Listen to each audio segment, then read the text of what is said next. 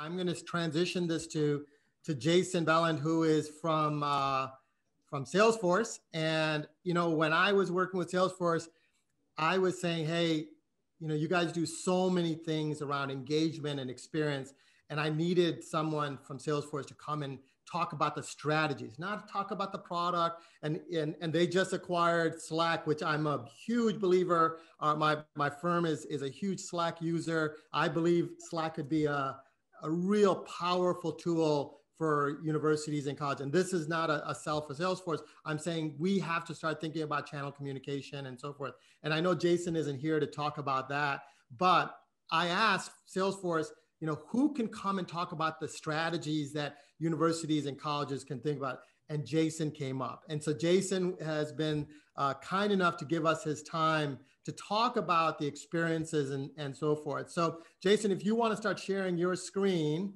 and and Matt, I'm actually having a screen sharing issue here. no problem. Reason. We will we will take that over then. Awesome. Okay, sorry about that. yeah, no worries. I will guide you in terms of what's where to where to start here. yeah, no problem. So Jason, why don't you just quickly just you know give a little bit of your your your talk, and I'm going to move myself into your screen. And awesome. there. Thank you. I, appreciate that, Matt. Thank you, and thank you for inviting me to be here with you today. I'm I'm very excited to uh, first of all, hear the presentation that just came before mine got, gave me a lot of great ideas, and I think uh, a lot of alignment in terms of, of what we're thinking about. Um, I, am very excited to be here today. You know, and I'll, maybe I'll step back for a minute before diving into the presentation. And and thanks, Matt, for for sharing this. It, it's I think we are at this incredible moment in higher education right now. I'm very grateful for this moment that we are in today in higher education. I've been working in higher ed uh, for uh, at colleges and universities for about 15 years. I've been at Salesforce for six years. I think you know every moment, that every day I wake up, I'm inspired by uh, the, our industry, by the customers that I'm working with every day, the customers I get to talk to every day, and really over the last year, I've seen like I never have before customers really leaning into their values, really leaning into their missions and thinking about how can we, how might we do the thing we've been talking about for a while? How might we re-engineer a process, rethink uh, how we engage with our students and really get clear about why are we here? What is our why as an institution? And beyond that, how do we then take action on that? And I've seen so many customers really start their day uh, in the right way, which is with the customer at the center, with the student at the center, and thinking about how do we build relationships with those students uh, in a different way than we ever have before. As Salesforce, we everything we do is based on a set of four values: trust, customer success, innovation, and equity. I think those values really ring true for a lot of us working in higher ed who are invested in customer success or student success, but know that to get there, we need to build trust uh, as a number one value. And that means building trust at every interaction with a student, but also with faculty and with staff. And so I want to start actually my presentation with a customer quote, and frankly, not, not a customer, from, from a student actually. This is a, a, a quote from a student at Arizona State University. They're an amazing innovator in the space. We all know them. I share their story, not to single them out. I think they're actually um, reflective of the innovation that's happening with so many colleges and universities. But I did want to call something out. They were celebrating uh, last year great achievements, great milestones in terms of records they were setting in terms of uh, uh, enrollment and admissions. And they quoted some students. They asked students, okay, well, why did you, great, we hit, we're, we're excited, we're here, why did you choose ASU? And they pulled this quote into a blog that they have on their website. You can, you can check it out and she says, I, you know, she's coming from, she's coming from California. So she's coming from out of state. She's taking on some risk, right? As many students are. They're deciding between work and coming to school. They're think, making family decisions or what, what's going to be the best investment of my dollar or a loan I may need to take out, right? So she said, I feel like I was wanted at ASU. I'm going to be cared for here. I'm going to have access to the resources I need. And this is before she stepped foot on campus. So she's already feeling this in the beginning. And what's exciting to me about that is ASU and so many other schools have said it's not enough to say student success or sense of belonging starts at the time a student shows up and then we're going to surround them and they're going to connect and they're going to feel like they're engaged. That's we need to do that yes. But it actually starts on instagram or facebook or somewhere else that is a property we don't own and we've engaged with them in a way that resonates and then taken them on this journey to make them help them feel safe help them feel connected. We personally care about you. We are going to support you along your way and build a trusted relationship that of course gets you through enrollment to show up on day one and, and yield management and then will, but also will get you to the finish line and actually pivot asu and pivot us as, as an industry from saying we are about a four-year degree a moment in time to saying we are about relationships and building relationships over the course of a lifetime i think this is super important to think about how we can build these relationships early, right? How do we kind of create trust and acknowledge the human on the other side of these conversations and that they are looking to make a connection. They may be looking for, you know, I talked with a customer the other day who talked about, you know, and to the point was made earlier by Eric, career services doesn't start, you know, the last the last semester of the year. Career services doesn't even start actually on day one. It starts in the admissions process. And how do we help that individual who may not have ever thought about a career. They have, may have only thought about a job. How do we help them think about that and connect to a dream very early in the process and start building uh, a lifelong relationship? This, this kind of experience is happening every day right now. And it's because of us as an industry really stepping up and I think thinking in new ways about our mission, about why we're here, and how we can use technology and use, frankly, our ideas and our creativity to engage with learners who need our support today more than ever. And If we scroll, Matt, to the next uh, visual here, we did some research recently. We talked to uh, students, faculty, staff uh, around, around the globe, and, and we did find great, as, as you might imagine, really strong data to talk about you know sense of belonging in students, and particularly in the enrollment in the enrollment funnel. So 78% of students talked about the feeling of belonging influencing their decision to enroll, right? So students are thinking about not just the degree, not just whatever other thing that may be happening, but does this make sense for me as an individual? Will I fit in here? And particularly right now, where we are not, we are having a lot of virtual engagement, it is more important than ever and sometimes harder than ever to create a sense of belonging through digital channels, but more crucial than ever. And one thing that is exciting, but also a, a challenge, is on the other side of this, and that is 65% of staff report that it is hard to get the data that they need to help students. So the, the challenging part about that is that 65% of staff are saying it's hard to get the data they need. And, and so how do we solve that and make that easier? But the exciting piece about that, I think, is that there is very clearly a, a, a, desire by staff to think about why we are here, a desire by staff to say, I want to help these students and families, and I want to spend my time doing that work and not doing the work of searching for data and trying to understand what's happening uh, with our students. A, a customer of ours at UNC Charlotte said to me the other day, it's not enough actually for me and my staff to know our students. We need to show them that we know them very clearly. And so we need that data and then we need the tools to take action upon that. Uh, another customer recently talked about their staff and how committed they are to the mission and, and said to me, you know, we are, um, we are very blessed because we have staff who just love this institution. They are they love how we serve our community. They are excited about what we do here. So they show up every they wake up every morning thinking about what is ahead of us and how I'm going to connect students to opportunities and how, you know, I'm driving a mission here, making a difference in the world, in the community. And then they get to work and by about lunchtime they're on a path toward apathy essentially because they can't find the data. It's hard to do this work. It's hard to understand that student. They're spending a lot of time sorting through uh, basic information that they're going to need to actually do the thing they woke up in the morning wanting to do. The good news is this is a very solvable problem when we take a different approach to thinking about how do we actually empower faculty, staff, and students to connect with one another to actually start driving an impact. We know that this is a discussion we've been having for a long time, right? So if we kind of I look at the evolution of technology in a, in a few different buckets in higher ed, there was, I think most of us are probably doing something in ed tech in the early 2000s when we were making things into PDFs and putting them online and kind of digitizing stuff. There's then the second phase of uh, workflow optimization, essentially.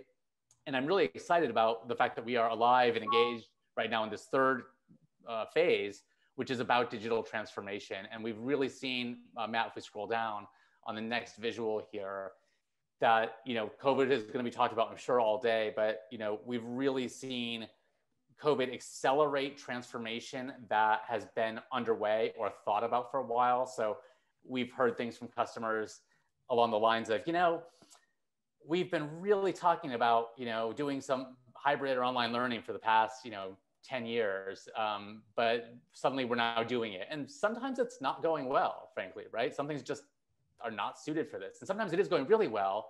And so, but we're, we've embraced something that we've never done before, which is we're experimenting and we're open to trying things. And it's, it's a necessity right now because of where we are in a pandemic but it's actually creating more cross-functional conversations and alignment and discussion about okay well how might we we don't want to be in a panic for the rest of our lives about this and scrambling but how might we actually work differently going forward so that we can be more agile more experimental more open to trying things versus having committees that talk about things for a long time similarly in terms of the employee experience we've had some conversations with customers who have said uh, HR definitely said no one's working from home, no questions asked. What are they gonna? What are they doing at home? We don't know, right? Like we, that's not something we do here.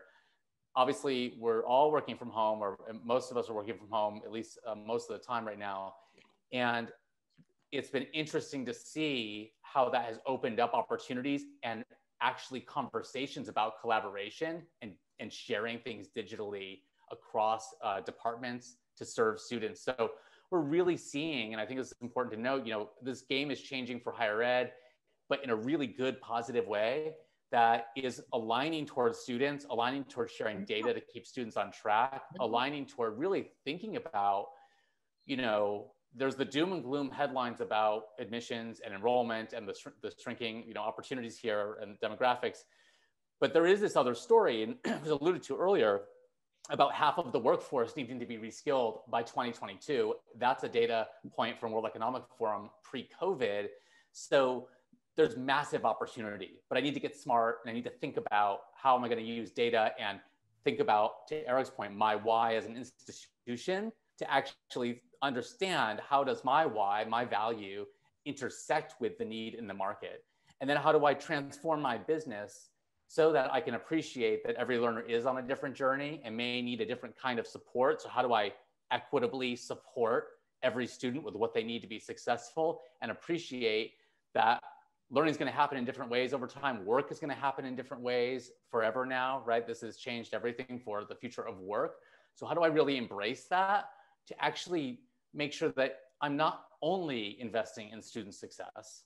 That's clearly important. No one would debate that but I'm also appreciating and valuing that to get to student success, I must invest in faculty and staff. I'll double underline that staff success and making sure my staff have what they need and are engaged and inspired and motivated and connected to one another so that they can create a holistic experience for students.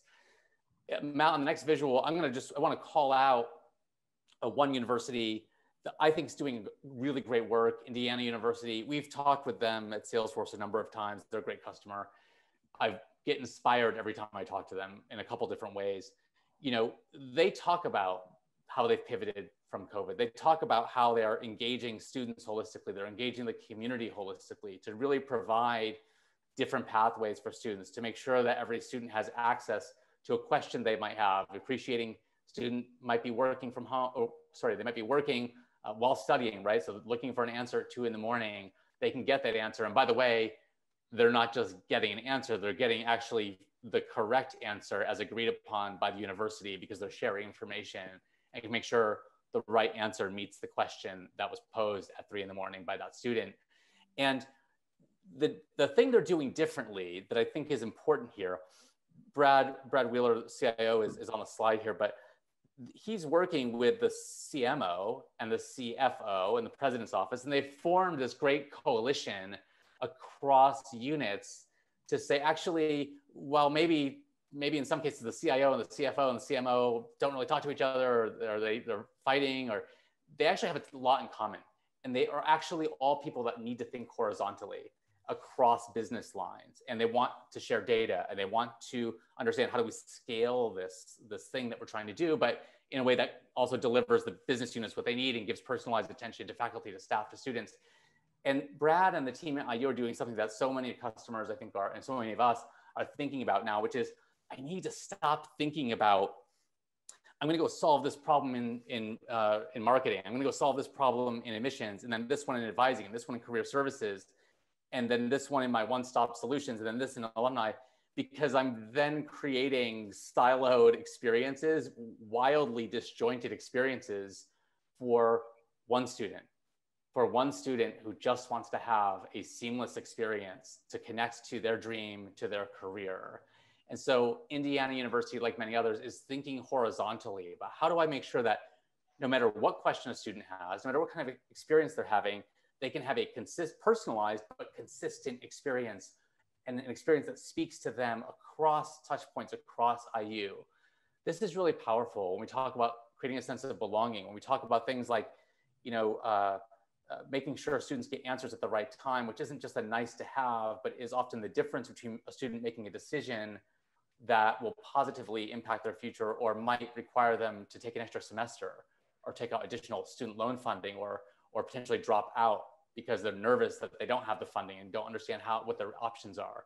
Getting the right answer to the, to the student in the right amount of time makes a huge difference. And that's what horizontal thinking across the university, uh, that's where that, that can bring us.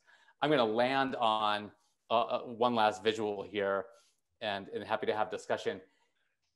I, I, like to bring in customer quotes if you can't tell. And this last one um, which is actually available on, a YouTube video from this wonderful gentleman, Tristan Denley from the University System of Georgia. Lots of YouTube videos with him giving great, inspiring presentations about advising. He's a chief academic officer. Uh, I find him to be really inspirational. And a quote I actually pulled from one of his YouTube videos, but that stood with, uh, uh, stayed with me, is students can see that we believe in their success through the way in which we interact with them so we've been talking about this a little bit, right, or a lot, in terms of how we engage with students. What does the communications look like? I think it's really important to understand and appreciate the, the weight of what Tristan is saying here, which is most certainly we need to communicate with people in a personalized way and engage them very early and then connect them, yes. But we really need to think about this as not just a comms problem, and it's not just for technology to solve like there's a real role here for HR, there's a role for organizational structure, and how are we organizing ourselves to support students, not just putting technology in place with the same way we've been doing stuff. How do we organize so that a student knows that we are there to support them and that we as staff members at the university also know amongst each other, yeah, we're organized to help here. So academic advisor, career services, you know, everyone else, all of us, our mission, our goal here is about helping that student to the finish line and making sure they have an amazing experience so they can become an engaged alumni, working in the community, engaging with us, coming back as their career changes, and really having a lifelong learning engagement with us. So I hope some of that was helpful to you and inspirational. Um, we've got actually, sorry, I forgot one last thing here. We have a pretty awesome uh, not just because we made it. I actually I, I, think it's pretty pretty great to read. Jeff, we worked with Jeff Selingo on a pretty awesome report. Uh, it's about 30, 40 pages called the, New You that really captures some ideas that I think will inspire thinking, honestly, about you know what what you could do differently. Some ideas to bring back to your institution. Some ideas to think about big digital transformation, like you know all caps digital transformation, transform the whole thing, but also I think the really important things, the kind of lowercase digital transformation that's about creating moments that matter, high value moments that matter, that go back to that, that student at ASU at the beginning of the, of the talk here to say, we see you, we hear you, we value you, and we're gonna make sure that you feel wanted at, at our institution. Uh, Matt, thanks so much. I'll turn it back to you.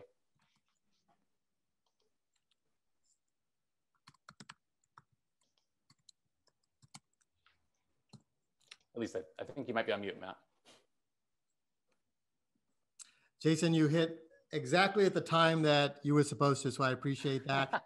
there is a lot of dialogue in, in the audience around some of the stuff that you're speaking to. One is from Karen, who says, you know, why does educational institutions, um, why are they not harnessing the social media platforms like other consumers do? YouTube, Instagram, when students are 24 seven?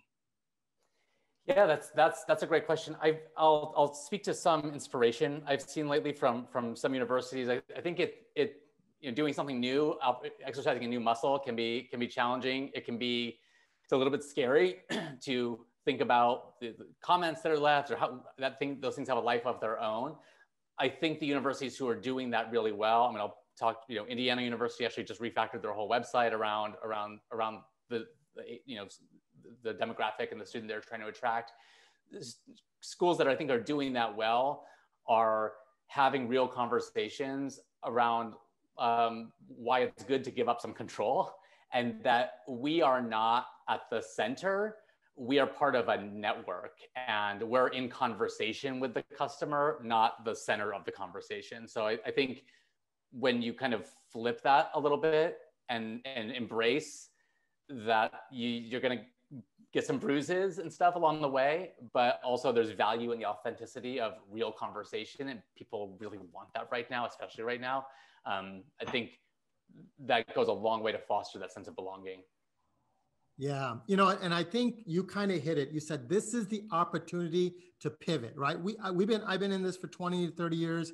You've yep. been in it for a long time we've never seen the opportunity. We have a license to change. And in my presentation, I'll talk about that. We have a license to change. This is the time that leaders can lead without feeling, oh my God, I need consensus. Because we have consensus driven institutions struggle sometimes to change, yes. right? So this is the opportunity. Consensus doesn't mean don't listen to anyone else. You need to have the why, as Eric said before, so that everyone believes in what you need to do. So you know, in your example of University of Indiana, they had a goal, they had a why. Then they decided, hey, this is the strategy that we have to do it. They realized needs were changing, right? And yeah. that's an important piece of it. So there's another question out there from Rodney Alsip. Information access on campus is more about campus uh, silos that prevent access. The data and information is available, but access yeah. is really a siloed issue any suggestions on eliminating the silos? I mean, this is, I mean, just so that, I mean, yes. Uh, so this is, you know, very much, I think it's having this, a, a, real conversation, kind of the come to Jesus conversation about why are we here? Like, what is the goal of this organization? And it's not about silos and maintaining those. It's about serving our students. And we do not, I, as an advisor, do not own the data. I am a steward of that data across an experience. And you know, this conversation happens a lot because it's, you know, it's this is not about whether technology can support appropriate levels of sharing and privacy. Like, yes, yes, yes, that happens on a global scale with commercial companies every single day. This is about institutional willpower and creating that why and aligning individuals around success of students, not about success of their individual unit. Yeah, no, that's great. That's great. Um, there's a there's a question on on getting access to your uh, the report, the Selingo report. It is, everyone has access to the Quiller. So inside of the chat, you will see that all of our presentations are accessible to you while the presenters are there. In them, they there are embedded links to these type of reports. So in Jason's uh, presentation, it's certainly there uh, and, and then driving it um, that way. So um, folks that are looking for it, you know, please just look on the on the Quiller link. So. Uh, Jason, any last words or thoughts? I'm going to actually start transitioning it to a gentleman by the name of Andy Hanna, who is really uh, changing the way that we look at data around students, right? You talk about the engagement element of it, but some of it is trying to understand, you know, who these students are, what your ideal, you know, student is. And we're going to go into that discussion with Andy in a second. Would love to um, transition this to David, and David's going to be the next uh, facilitator. As you guys notice, we're going to switch facilitators and moderators through the day because it's nonstop. Matt Alex can't talk the whole day. So we're going to have David, uh, you know, step in and take it from here. Jason, I appreciate the time. Um, we would love to have you back on our stage as, as we go. Any closing thoughts as we move to the next uh, guest? No, I'll just say hello to my good friend David and uh, you know uh, and Matt. Uh, great, super grateful to be here today. Thank you so much for the opportunity. Thank you so much. Thank you, Jason.